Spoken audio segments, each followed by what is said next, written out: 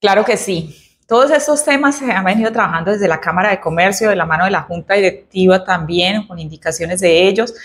eh, por las preocupaciones que se tienen a nivel general. Hemos venido trabajando con varias aerolíneas, tocando puertas, con las mismas aerolíneas que ya están en la región, como lo es CLIS, Atena también. Y la semana pasada, en el marco de ANATO, tuvimos la oportunidad de reunirnos con el vicepresidente comercial de la aerolínea YesMar, esta aerolínea de bajo costo que llegó al país y en la cual eh, tuvimos la oportunidad de manifestarle todas las necesidades que tenemos en región. Soy una convencida de que si tenemos más oportunidades, más opciones en la región, eh, eso va a hacer que disminuyan los precios de los pasajes, que es algo que de lo que tanto adolecemos porque necesitamos indudablemente en muchas ocasiones por diferentes motivos trasladarnos a diferentes partes del país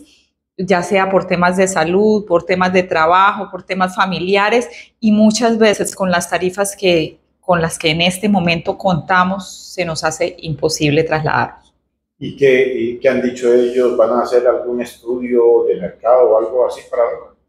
Sí, eh, ellos tienen en su equipo de trabajo una persona eh, que conoce bastante la región de, de Arauca y, quedaron comprometidos a hacer el estudio de la verificación. Obviamente estas decisiones no se toman eh, de un momento a otro, se debe realizar también todo el estudio a la infraestructura del aeropuerto de Arauca, para lo cual nosotros eh, ya les brindamos una información de la cual teníamos acceso y van a realizar otras consultas y van a hacer estudios de qué tan viable es o qué tanto mercado eh, podría tener